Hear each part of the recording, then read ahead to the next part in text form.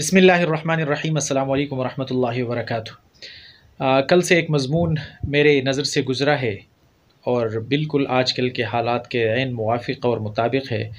आ, तो मैंने समझा कि आप लोगों के साथ भी उस मज़मून को शेयर किया जा किया जाए। लेकिन याद रहे कि बंद नाचीज़ का इस मज़मून के साथ मुतफ़ होना ज़रूरी नहीं है। इसको अजराह तफन और एक सबक आमोज समझ कर इसको पेश किया जा रहा है आपके सामने। लेकिन उससे पहले अगर आप लोगों ने हमारे इस यूट्यूब चैनल को सब्सक्राइब नहीं किया तो सब्सक्राइब करना मत भूलिएगा। बहुत शुक्रिया। कहते हैं कि 1960 में फ़्रांस ने कांगो को आज़ाद किया और वहाँ पे अपना एक सफ़ीर भी मुकर किया। सफ़ीर साहब एक दिन सैर सपाटे के लिए जंगल की तरफ़ निकले कांगो के और उसको दूर कुछ लोग नज़र आए तो उस सफ़ीर साहब ने यह समझा कि शायद ये लोग मेरा इस्तकबाल कर रहे हैं। सफ़ीर साहब जब उनके करीब पहुँचे तो मालूम हुआ कि दरअसल वो लोग उनके इस्तबाल के लिए नहीं, बल्कि वो लोग आदम खोर कबीले से ताल्लुक़ रखते हैं और वो बंदों को काट कर खाने वाले हैं।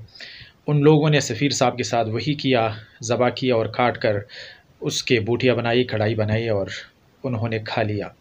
जब फ़्रांस में ये ख़बर फैली तो फ़्रांस की हकूमत को बड़ा दुख और सदमा पहुँचा और बहुत गुस्से में आई और कांगो की हकूमत से मुतालबा किया कि सफ़ीर साहब के खून बहा के तौर पर सफ़ीर साहब के ख़ानदान को कई मिलियन डॉलर अदा करने होंगे।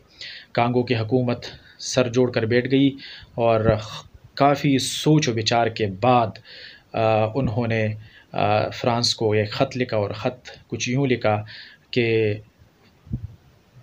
कांगो मोहतरम सफ़ीर साहब के इस बहीमाना वाक़े पर बहुत ज़्यादा गमज़दा और उसके गम में शरीक है, लेकिन कांगो के पास इस टाइम कुछ भी नहीं है कि वो आपको दे सकें। लिहाजा आप यूँ करें कि कांगो के फ्रांस में सफ़ीर को ज़बा किया जाए और उसको काट कर खाया जाए बदले में, क्योंकि हमारे पास तो कुछ भी नहीं है वसलाम यही कुछ मेरे ख़्याल में भी आया कि अगर पाकिस्तान आईएमएफ से और अपने जितने भी उन लोग जितने ममालिक ने पाकिस्तान को कर्ज़े दिए हैं अगर उनसे ये कहा जाए कि जिन जिन लोगों ने पाकिस्तान को लूटा है आ, उसके पैसे आप लोगों के बैंकों में पड़े हैं तो लिहाजा उन्हीं पैसों को आप निकलवा कर अपने कर्ज़े पूरे किए जाएँ और, और पाकिस्तान को माफ़ किया जाए। क्या ख़्याल है? इस तरह अगर हो जाए तो इस तरह पाकिस्तान की जान भी छूट सकती है कर्ज़े भी आ, उसके अदा हो सकते हैं और जिन जिन्होंने लूटा है उनको सज़ा भी मिल सकती है। इस मजमून को अजराह तफन पेश किया गया, एक सबक आमोज समझ कर पेश किया गया। हमारा इससे मुतफ़ होना ज़रूरी नहीं है।